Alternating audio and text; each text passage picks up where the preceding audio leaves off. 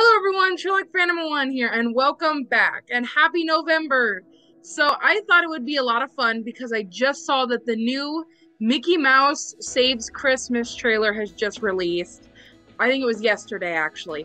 But I would love to react to it because I was a huge fan of the Once Upon a Christmas that came out. I think that was so good. It was such a good one, such a classic with the hand drawn. And then they did the second one, which was Mickey's Twice Upon a Christmas, which was a bit of a cash grab, but I, as a kid, really liked it. So I'm excited to see what they're going to do with this third installment.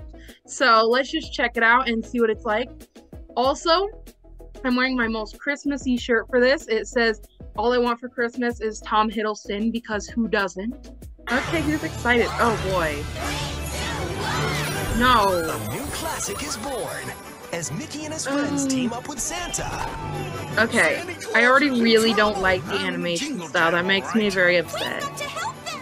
No, why? holiday adventure doing it, boy! For the whole family. Oh, I was so excited about it. It's like so bad. Watch Mickey Saves Christmas on Disney Channel. Okay, so that wasn't a very long trailer either. That looks really bad.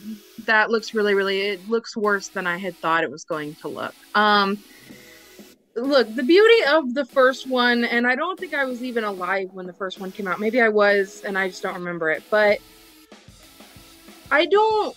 I don't know. The charm of the first one was the beautiful hand drawn, and the stories were really good.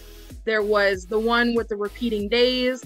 There was the gift gift of the Magi, or however you say it, where Mickey and Minnie had to give up something to get something, and those were all just very classical stories. Um, it's very uh, kind of upsetting that they're gonna do a kind of a cash grab again because this is a this is worse than the second one. This is probably worse than Twice Upon a Christmas because even in Twice Upon a Christmas, it was very cheaply made and it still looks better than this. A short video. Let me know what you guys think about the trailer. It was literally I, I want to say a few seconds. You guys are thinking, will you watch it? Will you not watch it? Do you love it? Do you hate it? Will you skip it? Um, if so, why? And so I don't know. We'll have to just wait and see, I guess. So unfortunately, I don't know that this is going to be a big one for me. But with all that said, have a good one. Thank you for watching. Thank you for staying awesome. And until next time, see you guys.